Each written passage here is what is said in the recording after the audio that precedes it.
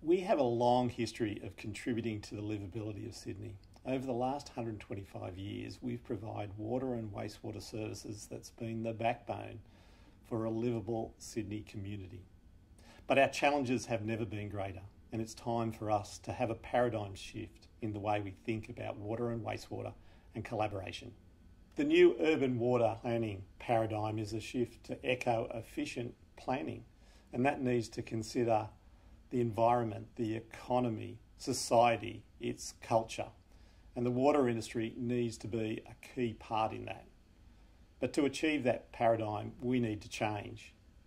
We are not plumbers, we're planners, and master planners at that. The Water Services Association of Australia just brought out a new vision for the water industry in Australia. And its vision is customer driven, enriching life. And that says it all that customers will be the focus of our change for the future.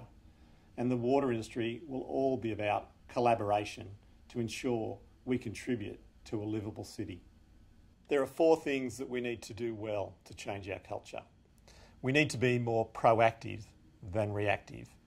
We need to be more collaborative than siloed.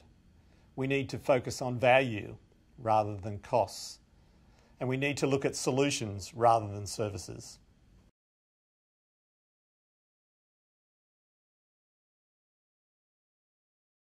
To make livability real in the organisation, we're pushing ahead with a number of flagship projects. Firstly, we're doing customer research.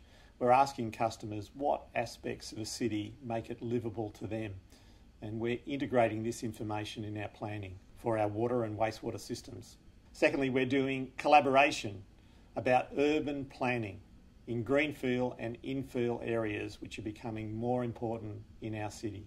We're piloting a new urban planning tool that will integrate different aspects of livable cities, including water and wastewater systems, and we're piloting that with the other agencies. We want to create healthy and vibrant open spaces from areas that were once fenced off. They were polluted, they were used for stormwater purposes. We want to open them up. We want to make it part of the community for them to use it for recreational purposes, for environmental purposes. We see great value in this change. At Sydney Water, we're investing a lot in research and development across a wide range of fields, but two in particular. We're doing a lot on climate change in our area, and Sydney Water's developed a world famous Adapt Water tool, not only for the water industry, but for other utilities. And it will help us and them work out the differences that climate change will make to our assets. We're also focusing on research in energy. We see that as a big area of livability we want our future to be that we generate more and more renewable energy from our wastewater treatment plants, and we see that as an achievable future. We're developing new products and services. It's all about shifting away from services to solutions. We're asking customers what they would value. For example, would customers want us to fix their sewer blockages from their own private pipes while our crews are on site? Can we use our own technology to solve customers' problems with leaks on their own properties? And would customers like us to offset their energy use for the supply of their water and wastewater?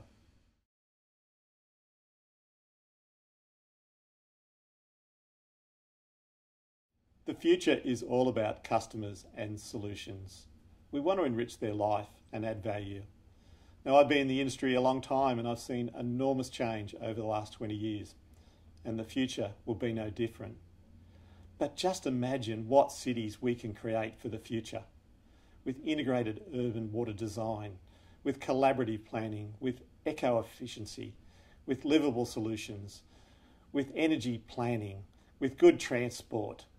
The pieces of the jigsaw puzzle are there. They're just scattered across different areas.